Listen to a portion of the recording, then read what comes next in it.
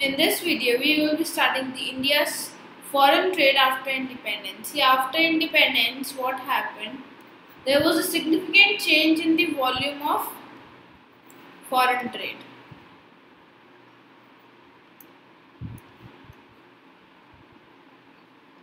After that, there was also change in the composition of foreign trade.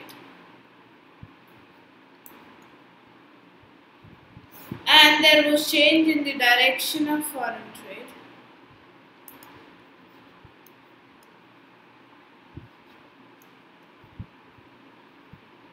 Let's under the, understand these three individually now. These are some figures of the volume of uh, foreign trade. These are the imports and exports. The first year plan, second year plan, third year plan, fourth year plan. Then uh, after that, I've taken 11th year plan See, uh, uh, the plans that government have introduced, the five years plan, they have significantly uh, put the efforts in order to increase their imports and exports and increase their relationship in the foreign market. So the volume of foreign trade kept on rising and rising uh, after the eve of independence. So the ultimately the effect on the volume of the foreign trade was it in 1951 1956 plan it was 3651 crore whereas after the 11th year plan in 2007 2012 your imports are these much. Can you see the drastic change in the volume? So the volume has changed. After the uh, independence of the foreign trade by the continuous efforts of the government. The next comes your composition of foreign trade after independence. See, I have told you in the previous video that what is composition. Your composition of trade, it refers to the type of goods and services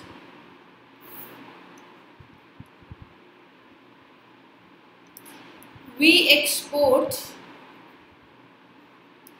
and import.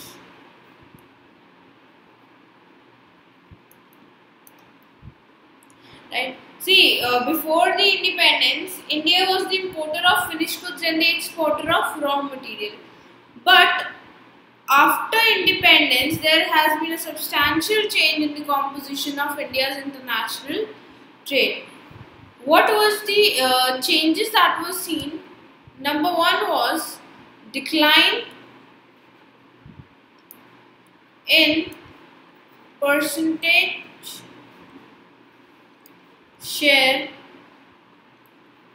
of agricultural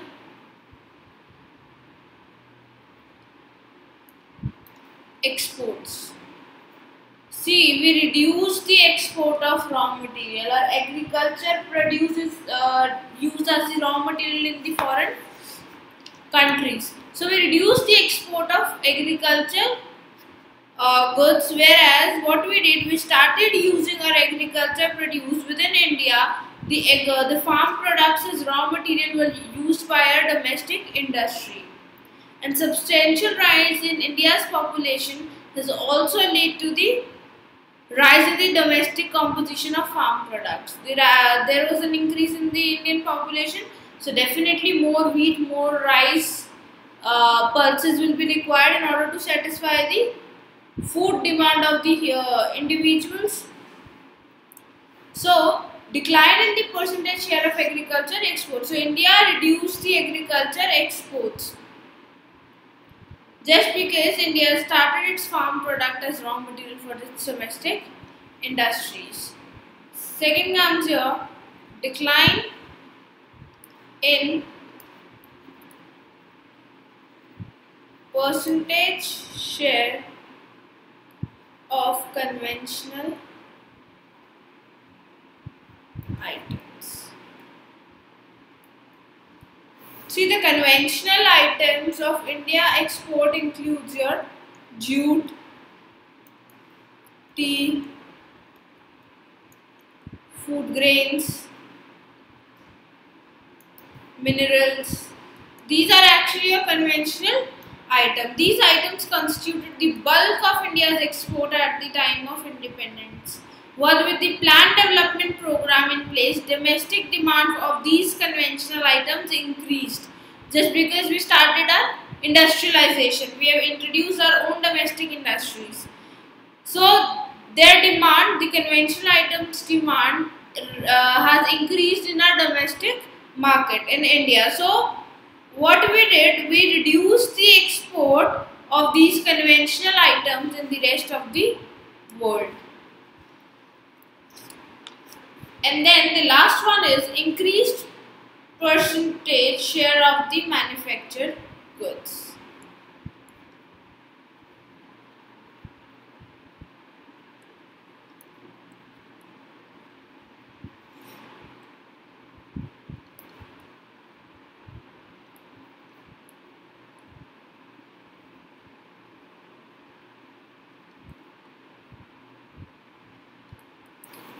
India became the exporter of finished goods now. Because due to the industrialization, the uh, strategy uh, for the industrial growth that was taken from 1950 to 1990, uh, what we did, we majorly focused on the industrialization. We, uh, the government of India and the private investors started investing and establishing the domestic industries. So we as an importer of foreign goods became the exporter of finished goods or you can say as the manufactured goods. So, so this increases the export of the manufactured goods. So this was the change in the composition of foreign trade after independence. Now the direction of foreign trade. See, uh, before the time of independence or on the eve of independence, what was our condition? We used to import and export the goods only to the Britain. What do you mean by the direction of trade? I have already told you that direction of trade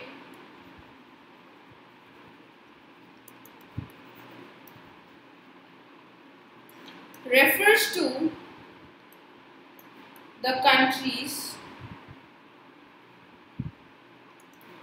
to which country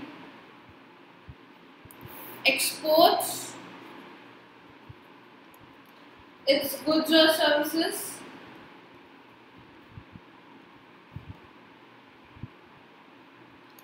And the countries from which it imports the goods or services. So the countries through uh, to with whom you are trading refers to your direction of foreign trade. From which country you are taking the goods, from which to which country you are sending your goods. So this is the direction of foreign trade. See, before or at the time of independence, our foreign trade was only restricted to Britain or England say. Because Britishers ruled our country and they did not let us trade to the rest of the world apart from the Britain. Now, after the independence, we started trading with other countries and our major trading partners are UAE, China, Switzerland, Singapore, Australia Iran Korea, USA, Japan, UK. So almost all the leading countries of the world we have the connection with so this is how the direction of foreign trade changed after the independence. The year 1991 was a year in which we took the major decision and we bought the LPG policy in India that is a liberalization, privatization, globalization to improve the foreign trade.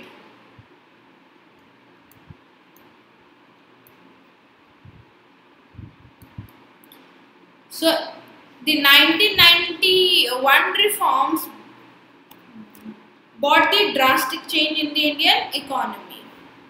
So I hope you like our video. Please download our Scholars Learning app and enjoy the learning experience with us.